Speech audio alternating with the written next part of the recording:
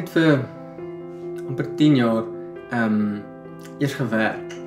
So ek het deur die dag het ek gewerk en dan na ure was ek betrokke by dit wat huis van gebed dan gebied het of oor oor naweke. Maar God het begin praat met my in my hart en ek het op 'n stadium gevoel dat gaan 'n dag kom wat God my voltyds gaan roep. Maar asof Here net op daai stadium gesê dis dis nou tyd. Ehm um, ek moet sê dit was my toe uh, 'n bietjie van aanpassing. Ek het so lank gewerk en om om dan uit te stap in 'n in 'n in 'n Joshua te doen met alles wat die Joshua bied. Ehm um, was 'n bietjie van aanpassing, maar was was my goed geweest. Was my leersaam want ek dink wat ek op uit waar waar by uitgekom het, was die was die verlange en die, die honger wat ek in my hart gehad het om om meer van God te leer, om meer van God te te sien en te ervaar.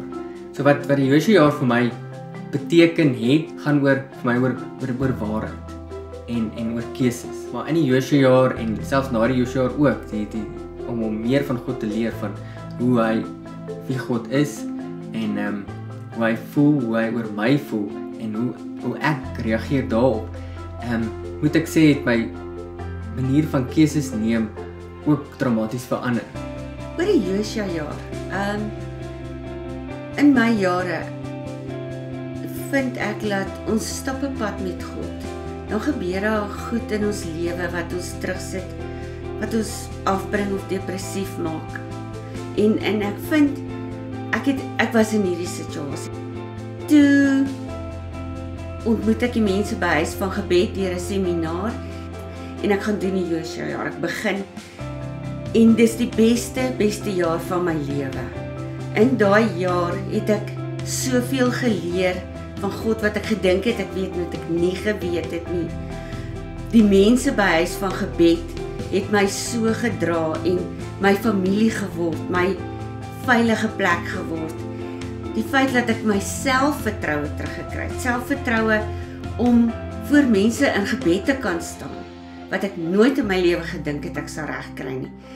Het die Here dit nou vir my 'n moontlikheid kom maak en is iets wat ek vir die nuwe seisoen in my lewe kan saamvat en ek kan met my kleinkinders daaroor praat. Ek kan met ander mense van my ouderdom daaroor praat en ek kan vrae begin antwoord en ek kan in my in gebed met hierdie mense staan.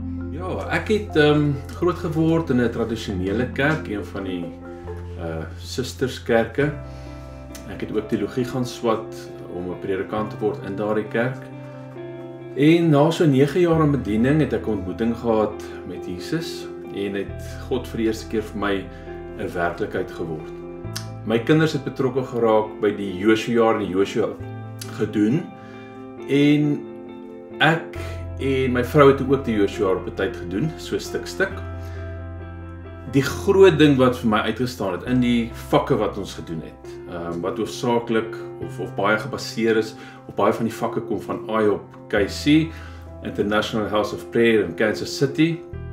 Daardie vakke het jou ingelei um om regtig intimiteit met God te hê. Die woordmeditasie, die die in die skrif induik en en hoe om die skrif terug te praat na God toe het het die woord vir jou op 'n ander manier lewend gemaak.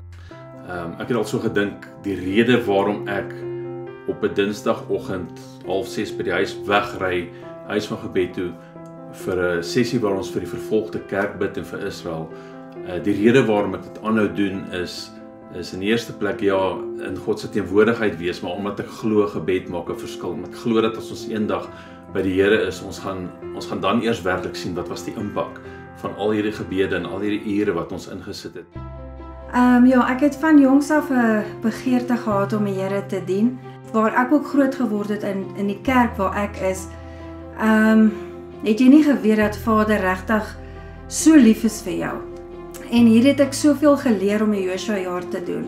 Ek het geleer om sy stem te hoor. Ek het geleer dat hy my liefhet vir wie ek is. Ek hoef nie te verander nie. Ek hoef nie soos iemand anders te wees nie. En ehm um, die vakke is so verrykend. Ek leer dat ek 'n taal het wat vir my so verryk terwyl ek daarin bid. Um so ek wil sê vir elke ene wat daar buite is wat nie jonk is nie, wat dink ek kan nie dit doen nie, uh, dit is nie vir my nie. Wil ek sê, weet jy wat, as jy hierna kyk, jy na enige een van hierdie getuienisse kyk en jy het 'n hinkering om beter uh om beter van Jesus te leer en nader aan hom te kom, te weet wie Heilige Gees is en sy ervarings wat hy vir ons in die woord sê, kan deel van ons lewens word. Dis 'n jaar. Ehm um, ek kan net sê dit is 'n jaar wat jou lewe verander. Dit het my geleer wat God oor my dink. Dit het my geleer ehm um, hoe naby aan aan my wil hy wees. Dit het my geleer dat ek naby aan hom kan kom. En dat daar soveel meer is om te ontdek in hom as ehm um, dit wat mense net altyd weet. Ehm um, Mens kan altyd van ander mense boeke lees en baie leer en um ek en Petrus my man um ons is albei by die um huis van gebed betrokke en ons het baie geleer deur um baie geestelike boeke te lees maar iets wat vir my um baie uitstaan um by huis van gebed en wat mens ook leer as jy die Josua jaar doen is dat 'n mens self van die Here kan hoor en as jy die Bybel lees um hoe God kom en goeders aan jou openbaar wat um wat net so so awesome is en en mense leer regtig om sy stem te hoor. En um mense oefen dit ook. So ek kan net sê in my lewe, um my lewe sou baie arm gewees het as ek dit nie gedoen het nie. So ek sal dit vir enige iemand voorstel. Jy hoef nie dalk noodwendig jonk te wees nie of jy oud te wees nie. Jy self um iemand wat wat heiliglik werk en en iemand wat 'n behoefte het soos soos ek. Um maak God dit 'n weg inderdaad, as jou honger groter is as die vrese in jou, uh, maak God regtig 'n weg vir jou om om uit te kom by by hom. En ons beveel hierdie Joshua aan vir enige persoon. Um ons praat gewoonlik met ouers oor jong mense wat dit moet doen, maar ek wil vir jou as jy hierdie video kyk en jy is in jou middeljare of of selfs ouer en dalk reeds klaar geswat besig in 'n beroep en jy het hierdie begeerte om nader aan God te kom, Die Josua jaar is 'n jaar waar jy nooit sal spyt wees indien jy dit gedoen het nie. As dit vir jou moontlik is om 'n jaar eenkant te sit, om by die Here se voete te sit om te leer wie hy is, dit sal nie 'n jaar wees wat jy mors nie. Dit sal jou so verryk. Ehm um, maak nie saak hoe oud jy is nie. Uh jy gaan net nader kom en nader kom en leer ehm um, wie Vader regtig is. Dit het my hele visie en missie in die lewe kom verander. Dit het my weer 'n doel in die lewe kom gee. Waar ek gedink het my lewe is nou oor ek is op pensioen. Het ek 'n nuwe doel gekry en dit is wat ek regtig ek sal enige iemand aanbeveel. As dit enigsins binne jou vermoë is om dit te doen, doen dit.